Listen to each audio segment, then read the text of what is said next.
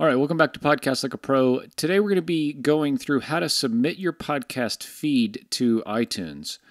Uh, and so the, we remember from both the Libsyn setup and the Seriously Simple Podcasting setup modules that we have that podcast feed URL that each of those services creates, which has the metadata about our show as a whole, like the title and the image and the description and the categories that it's in in iTunes, as well as the details about each episode individually. So, places like iTunes read your podcast feed and then reflect both the, the metadata about the show as a whole, as well as each time an episode is updated, it reflects the newest information about where the media file is located, what the title of the episode is, when it was published, what the description is, and things like that. And so when we say we're going to publish our episode to iTunes, what we really mean is we're going to give iTunes the feed URL, that link that either Seriously Simple Podcasting or Libsyn created in iTunes and Stitcher will read those feed URLs and show the contents of them in their in their search engines. Okay, so the first thing getting started here with submitting your show to iTunes is logging into iTunes Connect.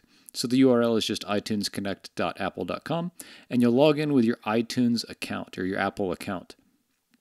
If you don't have one, it's free to set up. You do need to authenticate your if you sign up for a new account, you need to authenticate it in the iTunes app, either on your, your Mac or your PC.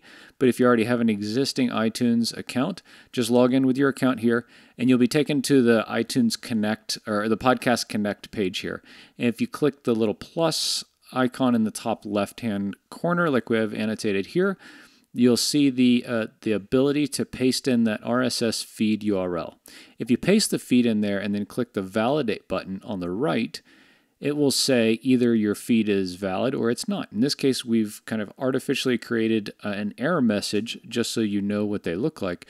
And here you see a little bit of the contents of the feed. So you see uh, on the left, you see the image, My Journey as a Podcaster. On the right, the description, that's kind of the metadata about the show. But you see that it gives you the error message no episodes exist in your feed. And this brings up an important point is that for a podcast feed or any kind of RSS feed to be considered valid, it has to have uh, an actual episode published in it. So you can't submit an empty feed to iTunes. It won't it won't take it. So in this case, we've created a feed, but it doesn't have any episodes published yet. So once we publish our episode, then we get the green light from iTunes and it says your status is prepared for submission.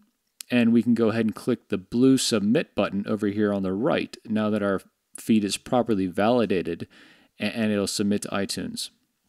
You can see down here it has the details about uh, the the title or the author of the of the show, the category that it's in, the primary category, the language, uh, whether it's explicit or not. There in the middle, a link to the website, and details about each of the episodes that you've published already for your feed to be considered valid.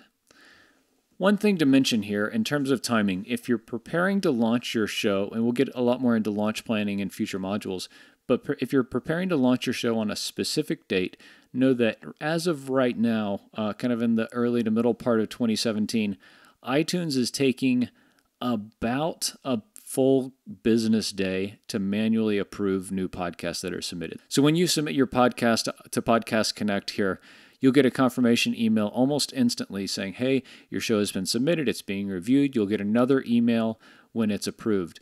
Uh, again, that second email is about a day later, and you'll get an email from Apple saying, hey, your show has been approved. Here is the URL where you can find your show's listing within iTunes. That's a really important URL, and you're going to want to go back to either Libsyn or Seriously Simple Podcasting and paste that in so that you can direct your, your visitors to those sites uh, to your podcast page in iTunes so that they can leave a rating and review and subscribe to your show. So it's really important.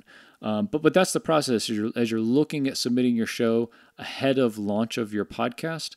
Just think about you want to do it at least a day ahead of time. Sometimes it takes two days, especially if it's around a weekend. Um, so, so that's submitting your podcast feed to iTunes.